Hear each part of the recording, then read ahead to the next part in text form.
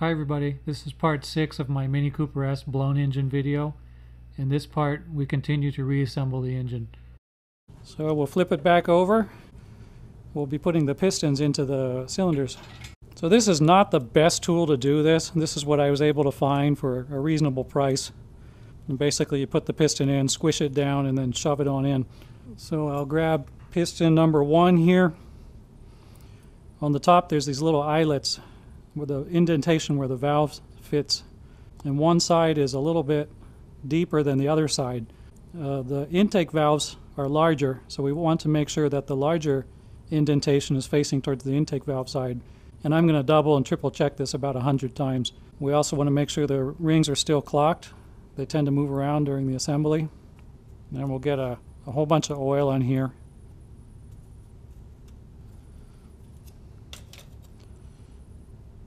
And we'll put the piston into the tool. Kind of squish the rings to get them to go in. And be sure to take off the connecting rod bottom cap. And also on this one, there's numbers here. You want to make sure that you have it, uh, when you put it back on, you put it on the correct orientation. Get it all nice and tight. Then we drop it on into the block here.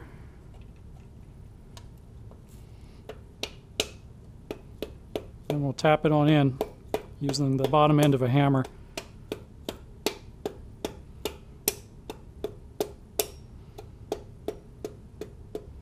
There it goes.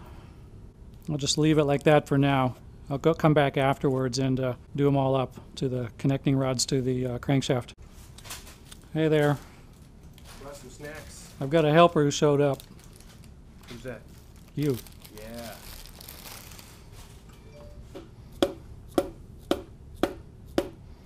All right, so we got all the pistons in. We've rotated the block and we're starting to assemble the, the connecting rod uh, bottom caps. I just kind of push up on the piston until it connects to the uh, crankshaft here. They got this special lube for these race bolts. I put that on the threads and on the head and we'll start tightening them down. The torque value for these are 25 foot-pounds and then turn an additional 55 degrees. All right, so we'll torque to 25, which is not a lot. And then I need to go find something to measure 55 degrees. So I'm a cheapskate. I don't got the fancy tool, so we're using a chunk of cardboard and a protractor. 55.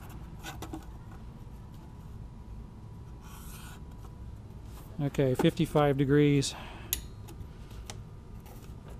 It's actually really tight. That feels like about 80 foot-pounds. So the connecting rod bolt is really the weakest part of any engine. It takes the most most um, punishment. Boy, that is tight. There we go. The piston clearance is like four thousandths of an inch because they expand to, to fit into the bore. Yeah, they feel loose right now, but they're not when the engine's running. Is kind of cool, and that's also why you need to warm up a motor before you you drive it hard. Okay, I got to put these oil jets in before I forget. So they go down here. Boy, that clearance, man, that thing is just flying right past here. They don't have any uh, set points to keep them from moving around, which is kind of weird. And if you put it anywhere else, it can contact parts in here that's not supposed to contact, and they'll get dented up and fall into the oil pan. So I'm gonna, after installing them, I'm going to rotate the crank through and make sure nothing's hitting. Now that one's hitting, so I got to back it off. But this is a tight motor. When I took it apart, I could push this by hand easy. On the upstroke, it's just barely, barely, barely not touching the edge of the piston skirt. Oh, I see. Oh. On the downstroke, yeah, it's it's just barely. If I turn it too far, it actually hits the connecting rod. So it's got to fit in that little tiny gap.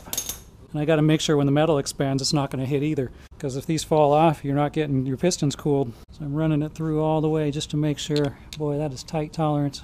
Okay, that one's lined up exactly where it needs to be. And it's probably good that I'm putting the oil jets in now. If I tried to do that before, they would they would never have lined up. Starting to make progress. Now we can start bolting on the accessory bits. This is the oil uh, filter housing and oil cooler. But this is nice having an engine uh, stand. Last motor I did this, I was squatting on the floor. That's the whole uh, bottom end, I think. Let's put the oil pan on. Now we're getting into territory where I've done stuff before, just never with the engine upside down before. I like to do two, three passes as the gasket compresses, just so it doesn't uh, doesn't come loose later on. I think now we can uh, start doing the fun part, putting the cylinder head back on. So I've already gone through and uh, cleaned up the block. I've already uh, took a scraper and make sure there's no foreign substance here at all to interfere with the head gasket sealing. And we've got ARP racing head studs instead of the regular head bolts. So we'll thread the studs in all the way. All right, getting to the fun part. We'll put the head gasket on.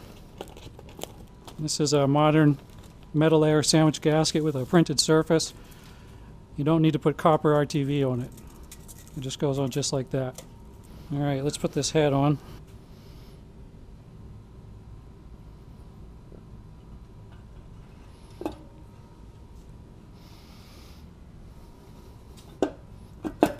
There it goes. It's coming together pretty fast. Well, now it is. Now I know what I'm doing. Okay, so got all the bolts cinched down most of the way. These are 40 foot-pounds, and then you go an extra 90 degrees. And these are race studs, so I'm gonna go. I'm gonna go 45. I'm feeling. I'm feeling lucky today. Are you sure? Well, they're they're they're stiffer than than the stock by quite a bit. Okay, so same thing. We start in the middle and we work our way out in a in a star pattern. Whatever.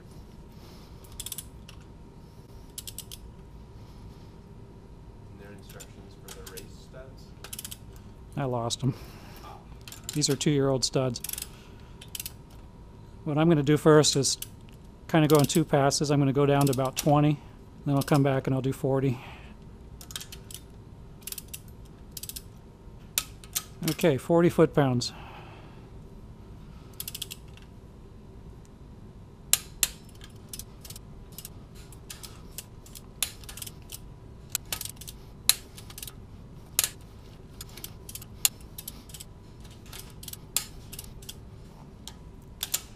All right, extra 90 degrees.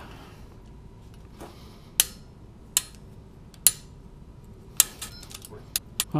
Yeah.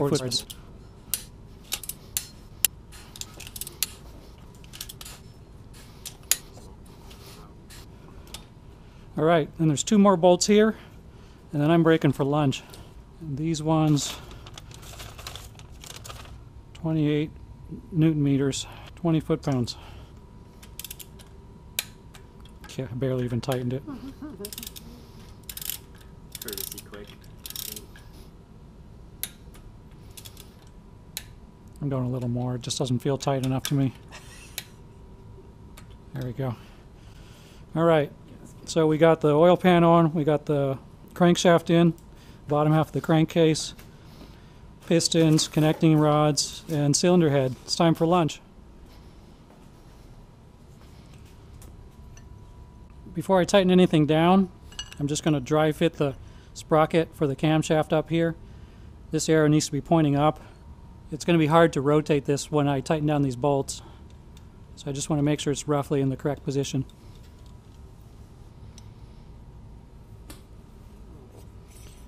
Now we'll put together the intake side.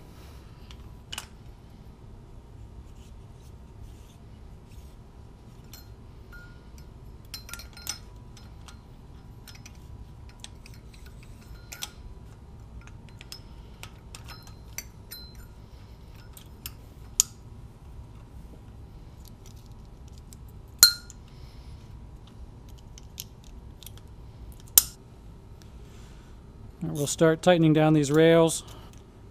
Just being careful not to tighten any one bolt too far.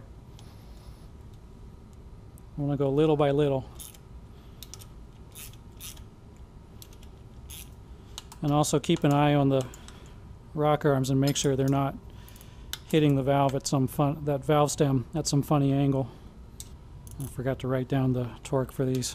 It's on my computer. I'll look it up. Forgot to turn the camera on for all that. Did you? Yeah. Oh well. All right, we got all the head bolts tightened down. Now we'll put the chain and the timing sprocket and all that stuff on. Starting to have fun here. The way it works is there's three gold teeth on this chain. There's one at the top here and two next to each other at the bottom. The gold teeth are supposed to align with arrow marks on each of the sprockets. But first, first I need to reinstall the guide rails. Make it go over the pin on the bottom here.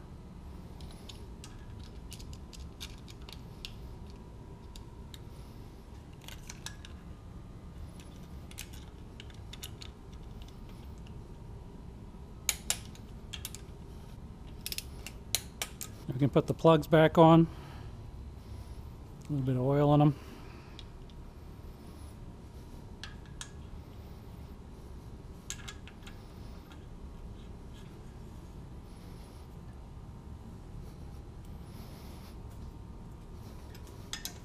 Our, our next fun job is to try to align this. So we've got the gold chain matching the arrow up on top here. And we're going to try to do the same thing on the bottom.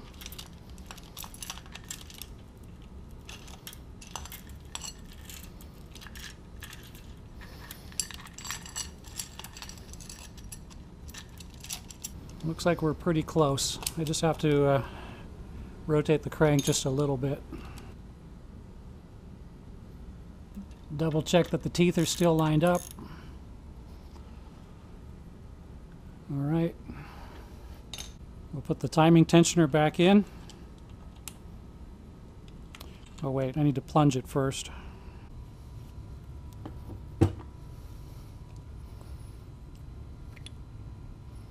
Okay, now we can put it back in.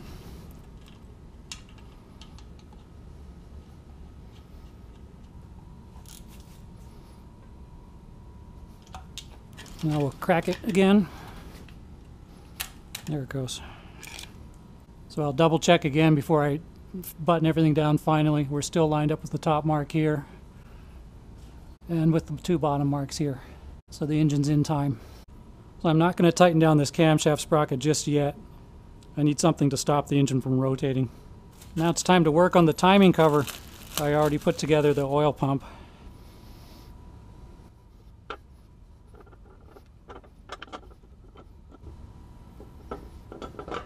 Do not forget to put these two gaskets, these little round ones here.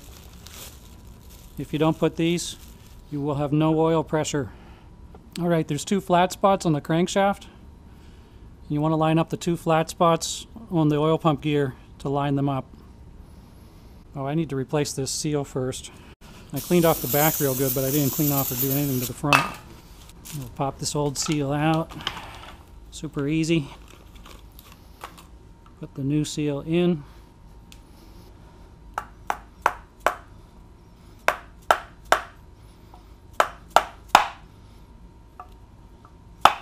It's a lot easier to do it now before putting it on the crankshaft.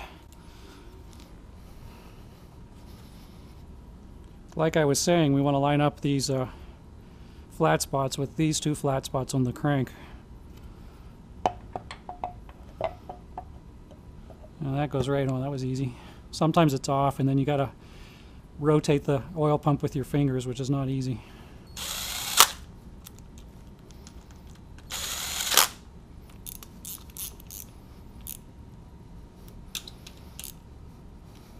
Put the idler pulley back on.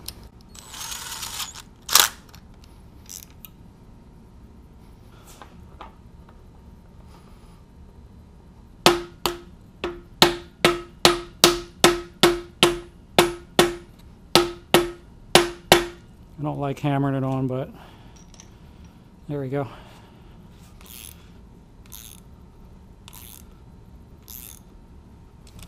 So what I'll do to torque it is I'll uh, I'll put a strap between here and here. All right, so now we have a way of stopping the engine from rotating so we can torque these two bolts. Okay, 88 for the top. It goes. The torque value for the dampener pulley is 85 foot-pounds. All right, I think we can put the valve cover on now, which I've already cleaned up. It's starting to look like an engine. All right, that's all for part six. Stay tuned for part 7 when we finish assembling the engine and get ready to put it back in the car. Thanks for watching and bye bye.